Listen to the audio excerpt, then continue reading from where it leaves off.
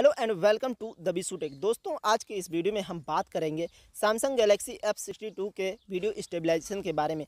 दोस्तों, इसमें आपको वीडियो स्टेबलाइजेशन का ऑप्शन देखने को मिलता है, जिसकी वजह से आप अगर मोबाइल से वीडियो शूट करते हैं तो जैसे आप मान लीजिए इस तरह से शूट करते हैं तो अगर आपका मोबाइल हल्का फुल्का हिलता है जर्क आता है उसमें तो आपका जो वीडियो स्टेबलाइजेशन वाला मोड है, उसकी वजह से आपका वीडियो काफ़ी स्मूथ बनेगा, काफ़ी स्टेबल हो जाएगा।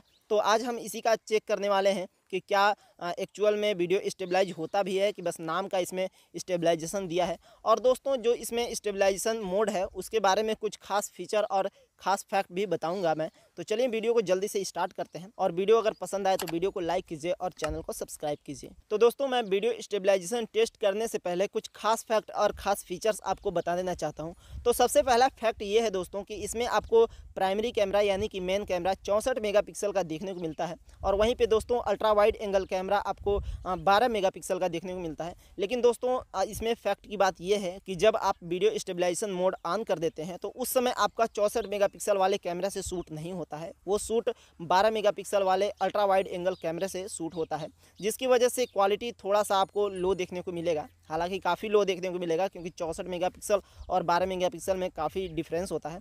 तो अगर आप लो लाइट में वीडियो शूट करते हैं तो उस समय आपको काफ़ी उसमें ग्रेन्स देखने को मिलेंगे, जो ब्लैक ब्लैक डॉट होते हैं, वो देखने को मिल जाएगा। और दोस्तों, जो दूसरा फैक्ट है मतलब दूसरा फीचर है, वो ये है कि आप वीडियो स्टेबलाइजेशन मोड ऑन करके वीडियो शूट करें, या तो ultra wide angle camera shoot करें। दोनों में स्टेबलाइजेशन सेम है मतलब अगर आप ultra wide angle camera on करके वीडियो शूट करते हैं तो काफ़ी आपका वाइड एरिया शूट हो पाता है।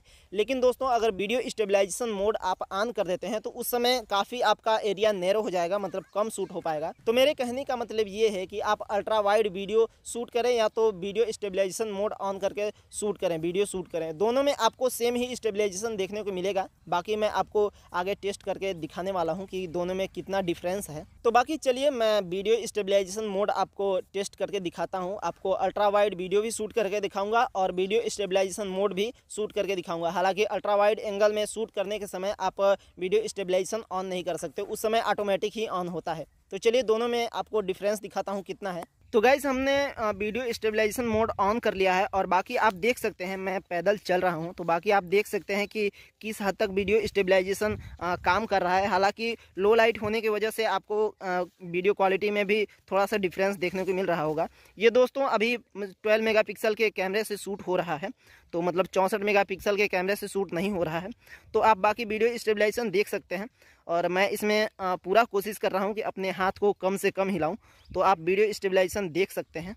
तो दोस्तों अभी अल्ट्रा वाइड एंगल कैमरा से शूट हो रहा है। तो आप बाकी डिफरेंस देख सकते हैं कि जो वीडियो स्टेबलाइजेशन मोड ऑन था उसमें कितना डिफरेंस है और अल्ट्रा वाइड एंगल कैमरा में शूट करने पे स्टेबलाइजेशन किस हद तक आ, काम करता है तो बाकी आप देख सकते हैं।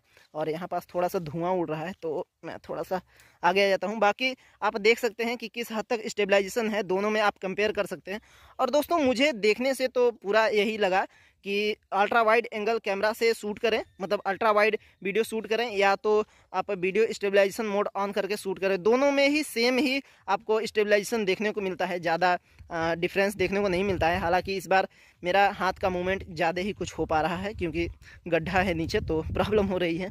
तो दोस्तों, आप अल्ट्रा वाइड वीडियो और वीडियो स्टेबलाइजेशन मोड ऑन करके दोनों में मैं आपको डिफरेंस दिखा दिया हूँ कि किस हद तक दोनों में स्टेबलाइजेशन सेम है और किस हद तक डिफरेंस है। तो बाकी आप देख के अंदाज़ा लगा लीजिए। और बाकी दोस्तों, मेरे ओपिनियन की बात किया जाए मतलब मेरे को किस हद तक इसका बेहतर लगा। तो दोस्तों, अगर आप मोटो ब्लॉगिंग करना चाहते हैं या ब्लॉगिंग भी करना चाहते हैं या आप ऐसा वीडियो शूट करना चाहते हैं जिसमें आपको चलने का और दौड़ने भागने का ज़रूरत है तो काफ़ी बेहतर, काफ़ी स्टेबल वीडियो शूट हो जाएगा। हालाँकि मैं गोप्रो से तो कंपेयर नहीं कर सकता, जो गोप्रो के छोटे छोटे एक्शन कैमरा आते हैं, उन सबसे तो कंपेयर नहीं कर सकता क्योंकि वो सब केवल स्टेबलाइजेशन के लिए ही बने होते हैं उस सब में जो रॉक स्टडी मोड और काफ़ी सारे जो मोड होते हैं, वो काफ़ी बेहतर होते हैं।